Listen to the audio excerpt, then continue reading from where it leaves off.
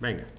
Voy a... He montado un dispositivo que puede servir como un botón. Me puede servir esto mismo, que para detectar un movimiento muy suave, ¿vale? Por ejemplo, un dinosaurio que mueve la hoja al moverse, pues si pongo esto, la hoja al moverse le da. El, dinosaurio no va ahí con la manita que tiene a darle al botón. Para, Mira, que es un dinosaurio que estoy aquí, en la puerta. No. Le tengo que poner algo más sensible. Pero también sirve un botón normal o sirve el otro os he dado, que tienes que meter algo en medio y detecta si hay algo en medio. Me sirve como interruptor, ¿vale? Encontrado en File, Examples, Digital, Baron, un código de ejemplo. Voy a verlo, pero primero voy a quitar todo lo que no me vale. ¿Qué no me vale? Bueno, no me vale nada de esto. Eh, ¿Me miráis? Venga, constantes no cambiarán, no cambian. Son usadas para poner los números de los pins. Yo en vez de poner botón pin podría haber puesto 2 y LED pin haber puesto 13 cada vez que aparece, pero si lo pongo en una variable, luego cambio que el número y si lo cambio al 5, pues me vale el mismo programa. Pero el 2, por eso lo hemos puesto en el 2, porque yo me acuerdo que hice esto, y el LED está en el 13 para no tener que poner un LED además, el LED interno, ¿vale? Aquí dice que las variables cambiarán, esto es una variable que dice que el, el estado del botón es 0, o sea que empieza a 0. Y esta variable sirve para leer el estado del botón. Es decir, va a saber cómo está el botón, si está pulsado o no pulsado. El setup pone el pin del LED como salida, porque es salida de información, y el pin del botón, que es el 2, como entrada. Lo que os he dicho antes, si yo pongo aquí un 13 y aquí un 2, me vale igual.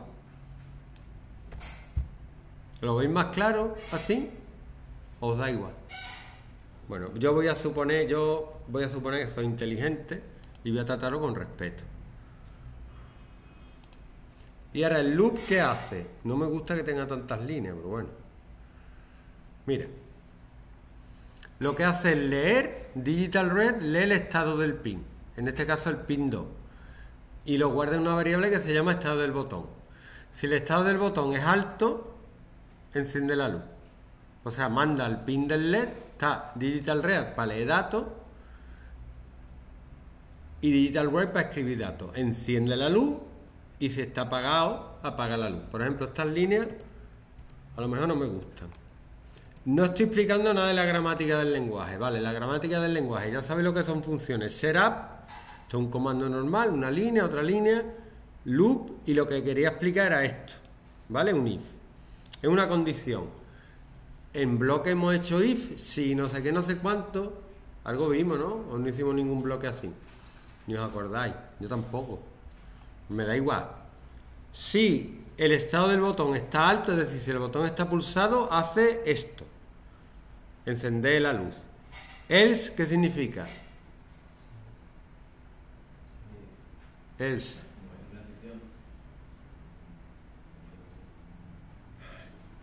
En otro caso, lo apaga. ¿Vale? Alguien podría decir, ¿tanto programa para hacer algo que tú puedas hacer con un interruptor? ¿Lo habéis montado en tecnología la bombillita del interruptor? Pues exactamente esto. ¿Por qué lo programamos? ¿Por qué nos interesa programar cosas? Porque esto sirve para cualquier cosa. Puedes hacer un interruptor, pero puedes hacer un satélite, puedes hacer lo que quieras. Pero tenemos que empezar por algo simple. Entonces, lo que hace es coger la información del botón y la traspasa a la luz. Si está encendido el botón, enciendo la luz.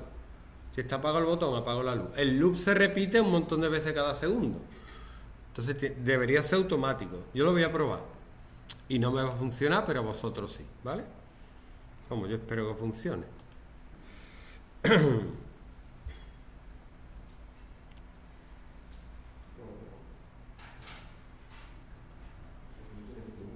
Como yo dije, a mí no me funciona. Pero vosotros sí os va a funcionar.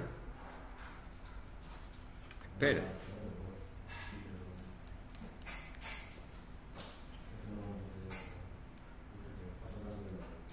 Puede ser que este dispositivo sea analógico a lo mejor y por eso no funciona, pero vamos, que me da igual.